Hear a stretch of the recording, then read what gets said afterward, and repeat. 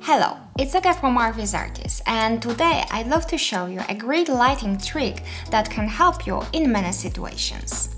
So when can you use this technique? Let's say you want to have soft light in your image and less contrast between light and shadow. Or maybe you have an object that has harsh shadows on it and it looks weird. Or on the other hand, you feel that your image needs more punch and it needs more contrasty shadows. So what do you think? I guess I should teach you this.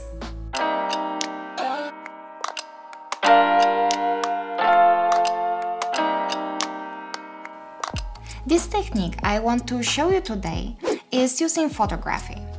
Professional photographers use special reflectors and anti-reflectors to get the results I told you before. If you don't have these specialistic devices, you can use, for example, white or black cardboard. It gives pretty well results. Now, let me quickly show you what I mean. I have this white piece of paper and I will put this close to my face. Take a look at the shadows. They are much softer than they were before.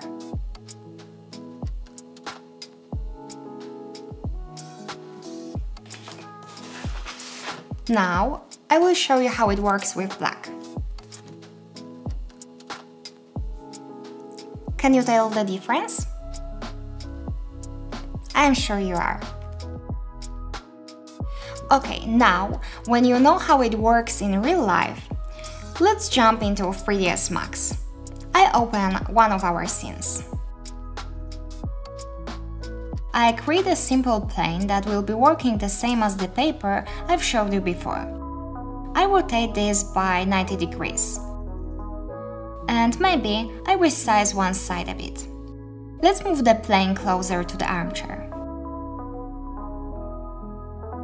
I still think it's a bit too big, so let me scale this.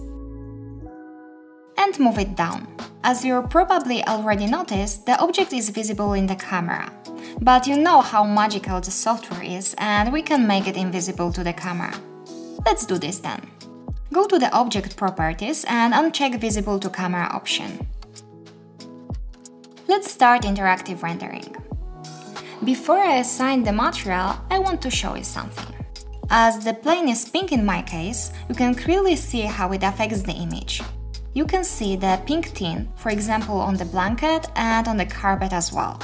Additionally, you can control how intense the effect is by moving the plane. The further away the plane is, the less intense the effect will become. You can notice, for example on the blanket, that it's not as pink as before. If we go closer, it's getting to be more pinkish. Great, I think it gives us a clear idea how we can affect the image this way. Now let's create the material. Let's assign this to the plane. We can start with the white diffuse color. So basically what we are doing here, we're reflecting the light. You can notice that the blanket is lighter even though we didn't change any properties of the wool material. The shadows are really soft and it becomes less contrasty. In this case, it will be a good idea to duplicate the render so we can easily compare what is different. Ok, now change the diffuse color to black. I think that the difference is pretty clear now. You can see that the blanket is much darker now, but also the shadows are more visible. By the way, let me know in the comments if you like the videos where I show you the tricks like this one. Again, we can move the plane back to see how it looks. Actually, maybe here it will be a good idea to duplicate this render.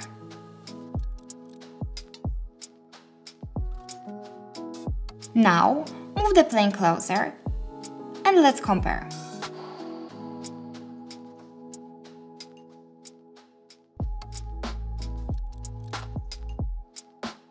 Of course, this one appears to be much darker. So basically, you can control the effect by changing the distance between the plane and the objects. Additionally, we can also change the scale of the plane, so in this case, it will work more like the wall. Let's scale the plane quite a bit. I will make it higher as well. I changed the diffuse for some vivid color, so we'll able to see more clearly how this affects the image. Great! You can notice that we can see a bit of effect on the blanket, slightly on the armchair, curtain, and here on the carpet as well. Because it's far from the object, the effect is quite subtle. But when we move the plane closer, you can see that almost everything is getting reddish.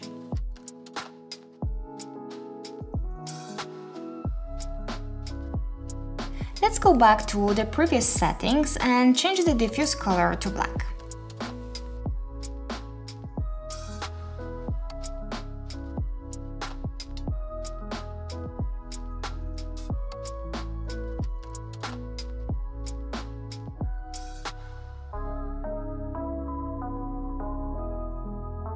We can use region rendering to see the results quicker.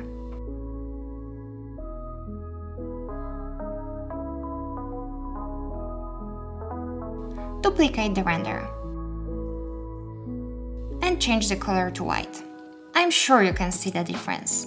This image becomes lighter in general and less contrasty. You can see the difference in shadows here, and here, and here. Look at the accessories on top of the coffee tables. Now, let me show you one more thing, which perhaps make this even more clear. Let's do one version with black plane and one with white again.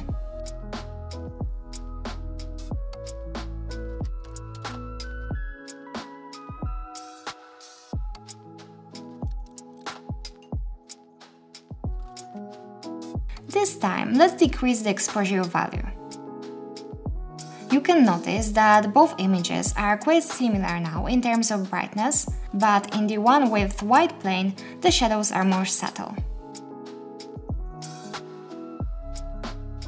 So basically, you can use this technique in many cases, but there is no need to use this in every single image. But sometimes it can be really useful and it can make huge difference. In general, remember that if you go for more contrast, use black color, and if you want more subtle effect, go for tints towards white. As we're big fans of observing things in real life, I'd like to encourage you to test this technique so you can truly understand this. Take your smartphone, piece of white and black paper, and take some photos. You can do this with just the natural light and test this with and without the cardboards. I think it can give you a great understanding how the light can be reflected. Plus, don't forget to test this in 3ds Max. That's it. Thanks for watching and also don't forget to like this video if you found this interesting, share it, subscribe and do all these wonderful things. See you guys in the next video.